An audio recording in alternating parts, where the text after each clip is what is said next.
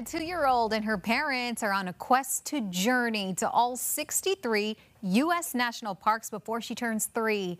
And this little girl happens to be named Journey. Valerie and Eric Castillo hope their own journey encourages families to embrace the great outdoors and see what the national parks have to offer. They've explored 55 national parks so far, including most recently Hawaii Volcanoes National Park on the Big Island and Haleakala National Park on Maui, where the San Antonio, Texas-based family immersed themselves in Hawaiian culture.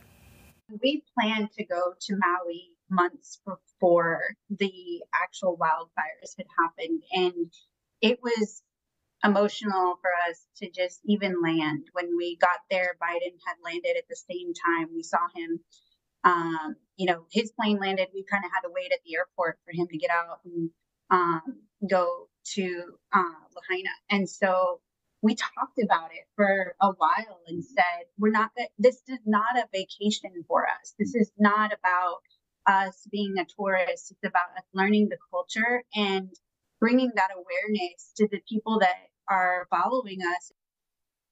The Castillos are now further in the South Pacific to visit the National Park of American Samoa.